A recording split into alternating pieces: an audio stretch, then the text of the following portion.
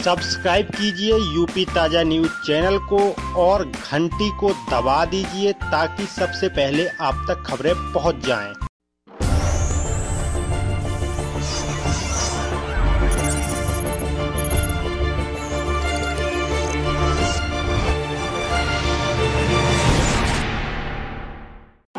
पहले तो आपको बधाई हो बहुत बहुत धन्यवाद। कि चंदौली में आप पुनः सांसद चुने गए हैं। और इस जीत का श्रेय किसको देना चाहते हैं?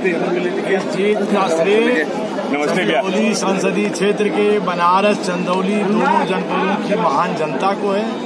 और हमारे सभी कार्यकर्ता पदाधिकारी सम्मानित जनप्रतिनिधियों को सबका सबको इसका श्रेय जाता है और सर्वाधिक श्रेय के हकदार हैं पूरी हिंदुस्तान की सभी सीटों पर जीत के लिए श्री नरेंद्र दामोदर दास मोदी। अध्यक्ष जी प्रदेश और देश में अप्रत्याशित चुनाव रहा है। गठबंधन और विपक्षी जो है सरकार बनाने के लिए मीटिंग कर रहे थे। ऐसे में ये परिणाम परिणाम को किस नज़रिए से आप देखते हैं? अप्रत्याशित नहीं था। भाजपा का आत्मविश्वास नरेंद्र मोदी अमित शाह का आत्मविश्वास शुरू से था। उत्तर प्रदेश में हम योगी जी केशव जी दिनेश जी सुनील बंसल जी डंके की चोट पर कहते थे कि हम अपना पुराना रिकॉर्ड दोहराएँगे। हम दोहराने के पूरी तरह करीब हैं। लेकिन विपक्ष को यहाँ अन्य जगहों पर लगता था कि हम अपना बहुत बड़ा स्कोर खड़ा करेंगे। वो एक चंद्राबाबू नायडू था। वो बंदर की तरह कूद रहा था इधर उधर मीटिंग कर रहा था। यहाँ जा रहा था, वहाँ जा रहा जैसे लगता है भारत का प्रधानमंत्री पद का शपथ लेने में दो एक घंटा देरी है। वो पूरा साफ़ हो गया आंध्र प्रदेश तो ये भाजपा का आत्मविश्वास शुरू से मज़बूत था। हम लोग कहीं प्रत्याशित नहीं थे।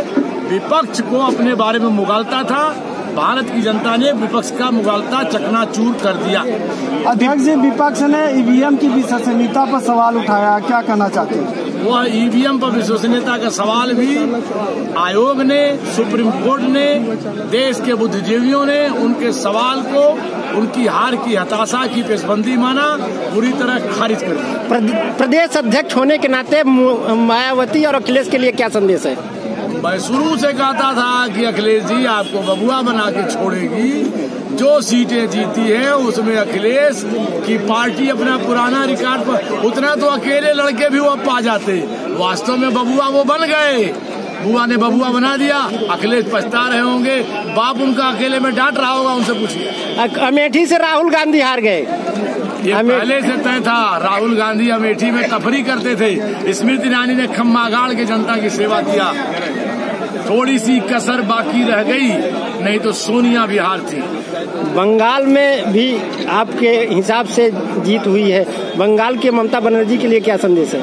ममता बनर्जी को बंगाल की जनता ने उनका पानी उतार दिया है। आने वाले विधानसभा में उनका नूर भी खत्म होगा। भाजपा वहाँ राज करेगी। चंदौली टू के लिए क्या विशेष होगा प्राथमिकता? चंदौली में जो विकास के लिए हमने जो जो राह तय की है उसे उच्च प्राथमिकता देकर माननीय मोदी जी और माननीय योगी जी की सरकारों से पूरी की पूरी उनसे योजनाएँ स्वीकृत करा के चंदौली की महान जनता ने अपनी परंपरा से अलग हट के कंटिन्यूस दूसरी बार अपने सांसद को चुना है। इस महान चंदौली संसदीय क्षेत्र की जनता का पुनः अभिनंदन है। मैं पूरी अपनी योग्यता, क्षमता, पूरी अपनी ताकत लगा के प्राण पर से चंदौली की महान जनता का।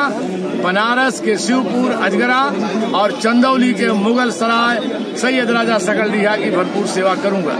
अध्यक्ष जी 2014 के लोकसभा चुनाव में जो वोट शेयरिंग था और गठबंधन का वोट शेयरिंग था उससे भी आप ज़्यादा वोट पाए हैं। इसके लिए किसको जिम्मेदार इसके लिए भी सारा यहाँ की जनता हमारे सभी सहयोगी ये सभी इसके लिए हमको आशीर्वाद दिए। वह अभिनंदन के पात्र क्या आप मानते हैं कि जातिगत जो है वो समीकरण ध्वस्त हो गए?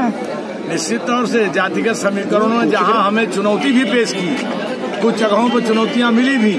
सब्सक्राइब कीजिए यूपी ताज़ा न्यूज़ चैनल को और घंटी को दबा दीजिए ताकि सबसे पहले आप तक खबरें पहुँच जाएँ।